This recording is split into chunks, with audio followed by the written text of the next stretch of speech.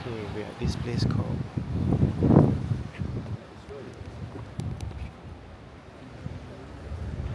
Cape Vlamingh. You can see quite a lot of nice rock formations. This one is probably the nicest. Look at this, so nice. The formation.